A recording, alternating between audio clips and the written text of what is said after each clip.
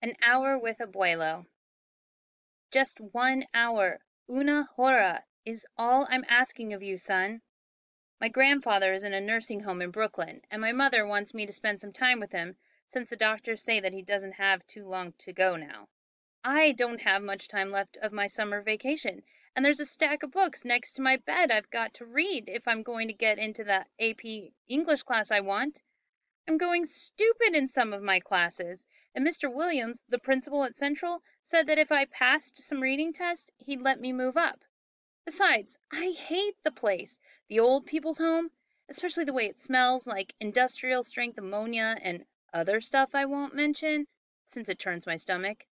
And really, the abuelo always has a lot of relatives visiting him, so I've gotten out of going there except at Christmas when a whole van load of grandchildren are herded over there to give him gifts and a hug. We all make it look make it quick and spend the rest of the time in the recreation area where we they play checkers and stuff with some of the old people's games and I catch up on back issues of Modern Maturity. I'm not picky. I'll read almost anything. After my mother nags me for about a week, I let her drive me to Golden Years.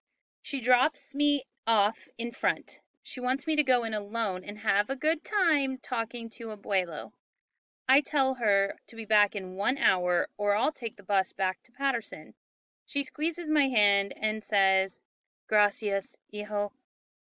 I in a choked up voice like I'm doing her a big favor.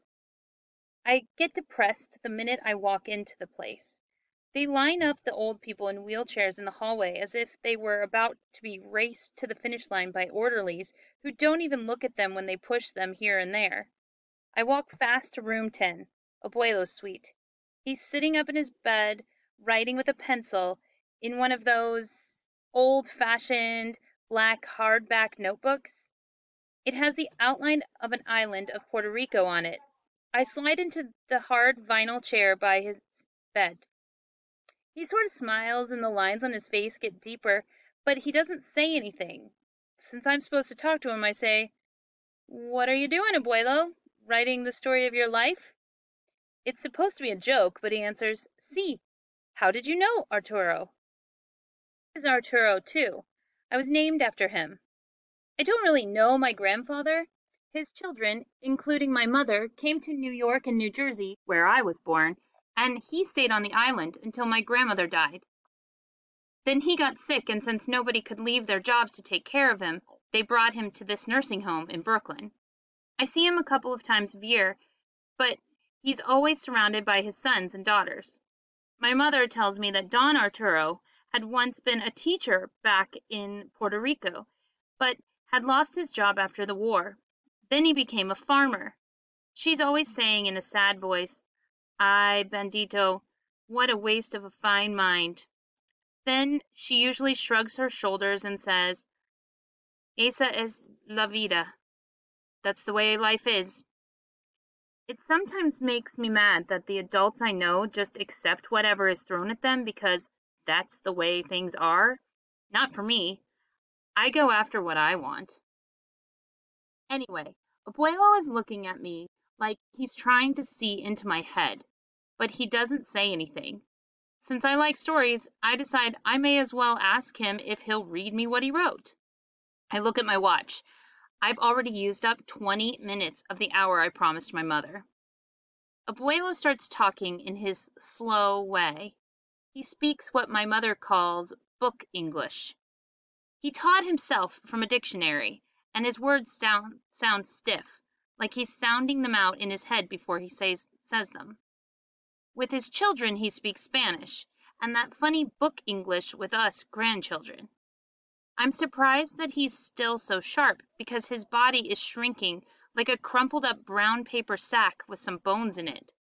But I can see from the looking into his eyes that the light is still on in there. It's a short story, Arturo, the story of my life. It will not take very much time to read it. I have time, abuelo.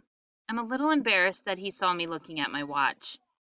Yes, I, hijo, you have spoken the truth. La verdad. You have much time. Abuelo reads I loved words from the beginning of my life.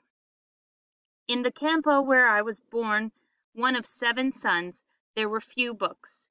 My mother read them to us over and over the Bible, the stories of Spanish conquistadors and of pirates that she had read as a child, and brought with her from the city of Mayaguez. That was before she married my father, a coffee bean farmer and she taught us words from the newspaper that a boy on a horse brought every week to her. She taught us how to write on a slate with chalks that she ordered by mail every year. We used those chalks until they were so small that you lost them between your fingers. I always wanted to be a writer and a teacher. With my heart and my soul, I knew that I wanted to be around books all of my life. And so, against the wishes of my father, who wanted all his sons to help him on the land, she sent me to high school in Mayaguez. For four years I boarded with a couple she knew. I paid my rent in labor, and I ate vegetables I grew myself. I wore my clothes until they were thin as parchment. But I graduated at the top of my class. My whole family came to see me that day. My mother brought me a beautiful guayabera a white shirt made of the finest cotton and embroidered by her own hands. I was a happy young man. In those days you could teach in a country school with a high school diploma. So I went back to my mountain village and got a job teaching all grades in a little classroom built by the parents of my students. I had books sent to me by the government. I felt like a rich man, although the pay was very small. I had books, all the books I wanted. I taught my students how to read poetry and plays and how to write them. They made up songs and put on shows for the parents. It was a beautiful time for me. Then the war came, and the American president said that all Puerto Rican men would be drafted. I wrote to our governor and explained that I was the only teacher in the mountain village. I told him that the children would go back to the fields and grow up ignorant if I could not teach them their letters. I said that I thought I was a better teacher than a soldier. The governor did not answer my letter. I went into the U.S. Army. I told my sergeant that I could be a teacher in the Army. I could teach all the farm boys their letters so that they could read the instructions on the ammunition boxes and not blow themselves up. The sergeant said I was too smart for my own good and gave me a job cleaning latrines. He said to me, There is reading material for you there, scholar. Read the writing on the walls. I spent the war mopping floors and cleaning toilets. When I had come back to the island, things had changed. You had to have a college degree to teach school, even the lower grades. My parents were sick, two of my brothers had been killed in the war, the others had stayed in Nueva York. I was the only one left to help the old people. I became a farmer. I married a good woman who gave me many good children.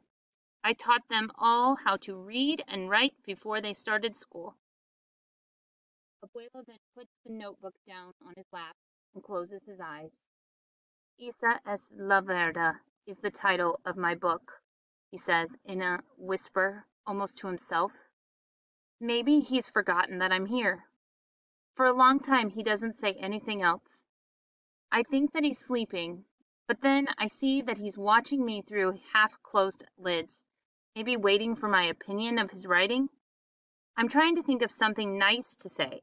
I liked it and all, but not the title. And I think that he could have been a teacher if he had wanted to bad enough. Nobody is going to stop me from doing what I want with my life. I'm not going to get La Vida get let La Vida get in the way. I want to discuss this with him, but the words are not coming into my head in Spanish just yet. I'm about to ask him why he didn't keep fighting to make his dream come true when an old lady in hot pink running shoes sort of appears at the door. She is wearing a pink jogging outfit, too. The world's oldest marathoner, I say to myself. She calls out to my grandfather in a flirty voice, Yoo-hoo, Arturo! Remember what day it is? It's poetry reading day in the rec room. You promised us you'd read your new one today. I see my abuelo perking up almost immediately. He points to his wheelchair, which is hanging like a huge metal bat in the open closet. He makes it obvious that he wants me to get it. I put it together, and with Miss Pink Running Shoes' help we get him in it. Then he says in a strong, deep voice I can hardly recognize, "Arturo, get that notebook from the table, please." I hand him another map of the island notebook. This one is red. On it, big letters, it says, "Poemas de Arturo." I start to push him toward the rec room, but he shakes his finger at me. "Arturo, look at your watch now. I believe your time is over." He gives me a wicked smile. Then with her pushing the wheelchair, maybe a little too fast, they roll down the hall. He's already reading from his notebook and she's making bird noises. I look at my watch and the hour is up to the minute. I can't help but think that my abuelo has been timing me. It cracks me up. I walk slowly down the hall toward the exit sign. I want my mother to have to wait a little.